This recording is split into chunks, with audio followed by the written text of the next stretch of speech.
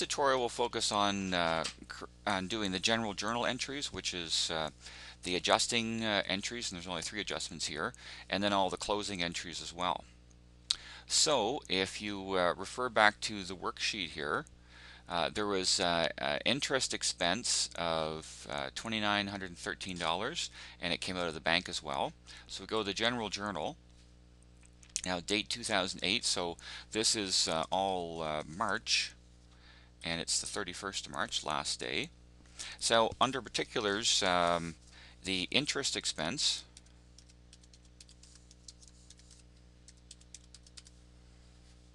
and that was account 633 if you want to check and the amount was $2,913 and of course bank went down the same amount and so that's the first one the bank is actually account 101 Next, we uh, another one is the allowance for doubtful accounts. Again, uh, allowance doubtful accounts uh, went uh, up $100 and accounts receivable went down $100.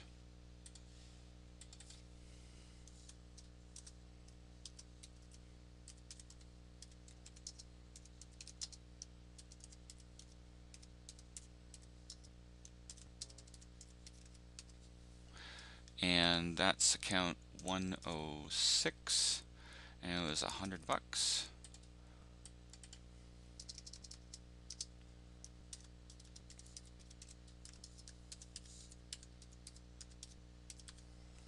And oh, that was account 105 and $100 as well, of course. And the last adjustment was the supplies. Under the worksheet, um, supplies expense, was uh, debited 2000 and supplies went down 2000. So in the general journal, this would be the uh, adjusting entry. We The debit, of course, always goes first. So supplies expense, supplies expense is uh, account 620 and it was $2,000.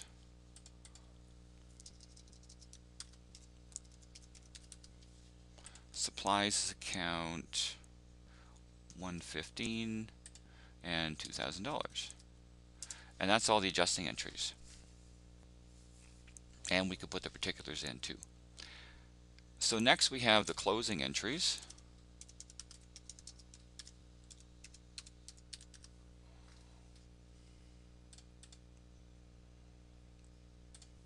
And of course still on March 31st so merchandise inventory. Now back to the worksheet. Merchandise inventory has a uh, debit balance of uh, 55,124. So back to the general journal.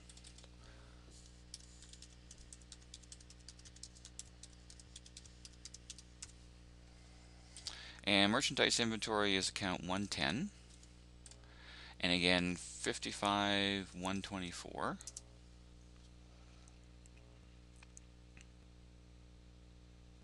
uh, next we put uh, sales revenue and then the purchase returns and allowances and the purchase discount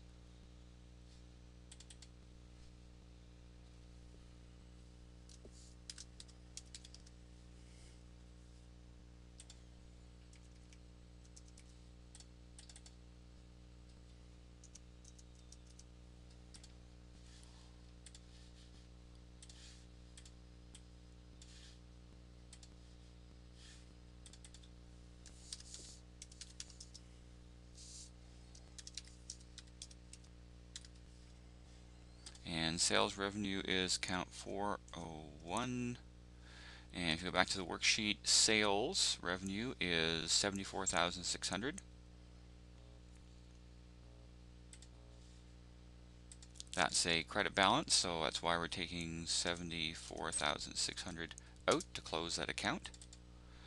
Uh, next we'll do the purchases. Actually purchase returns. And allowances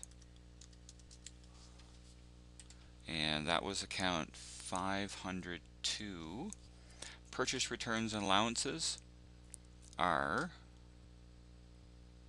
there we go. Purchase returns and allowances 1285. So notice again it's a credit balance of 1285.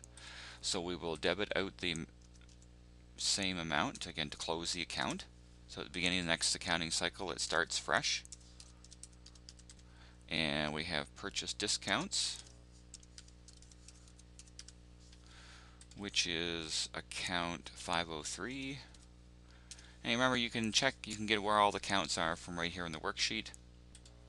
And uh, the uh, purchase discounts were $755 so 755 and so the next item here is income summary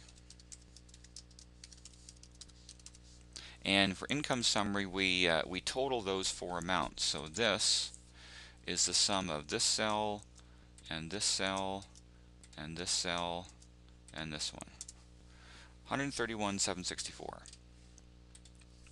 Now we have to uh, close all the uh, um, all the expenses, sales returns, allowance, discounts, purchase, freight in, all that. So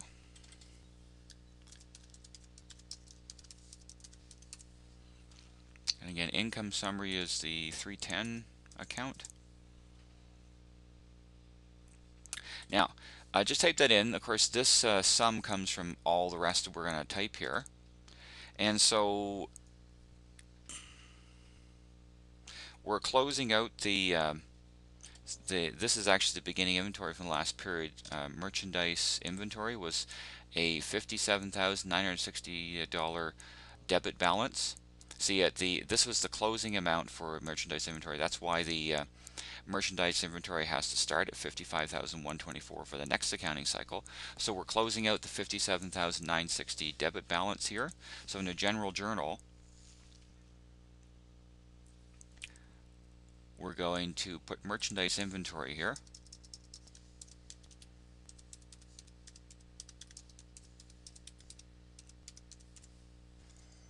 And that's account 110. And we put that 57,960 amount right there to close out the uh, old merchandise inventory beginning balance. Uh, next we'll do the sales returns and allowances.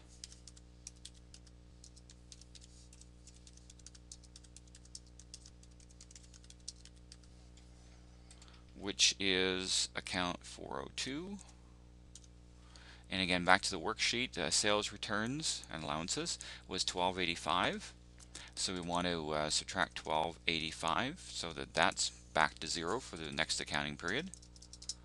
Uh, next we'll do sales discounts.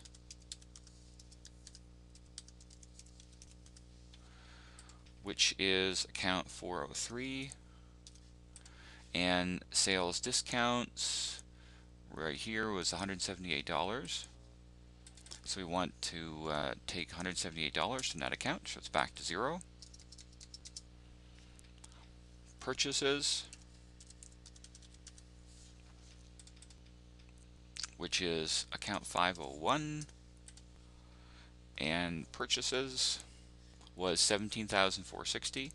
So we want to close that out, 17,460. And I'll be back to zero for the next accounting period freight in, which is account 504. Freight in was 2475. So we'll uh, credit that 2475. And then we have all the expenses plus freight out.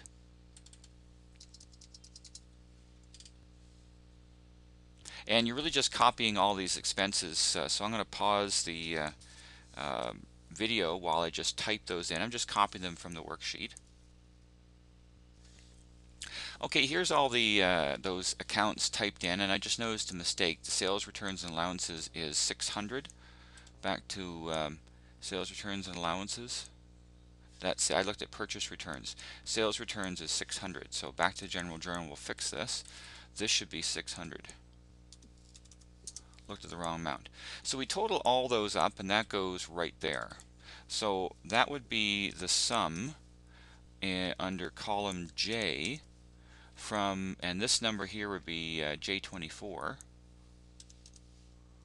all the way to J and the supplies expense here is in 37.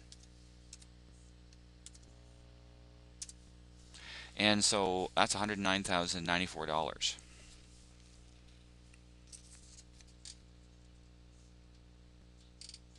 So next, the next item, and of course still on March 31st, is income summary.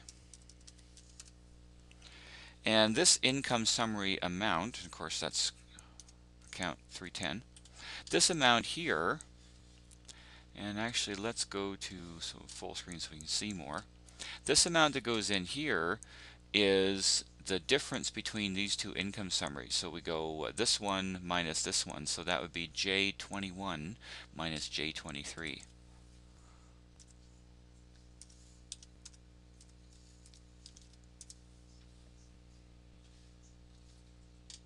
And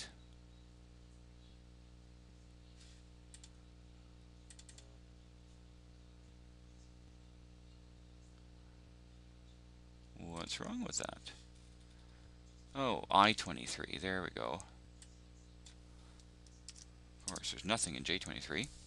So that income summary amount there, and then what we do is we do capital, dbel, whoops,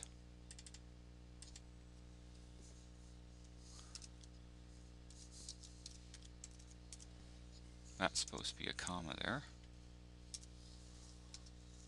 And that account is account 301. Has to be uh, credited the same amount, 22670. So that's how much the capital has changed. One last entry has we close out the drawings. So D Bell capital. And this is of course 301 again. The if you go back to the worksheet, the drawings were 31,168.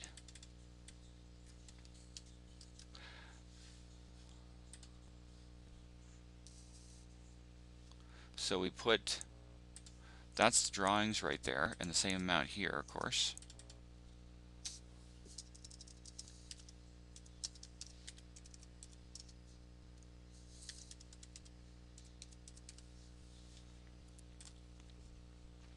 And that's count 305. And that is the end of how of the uh, general journal entries.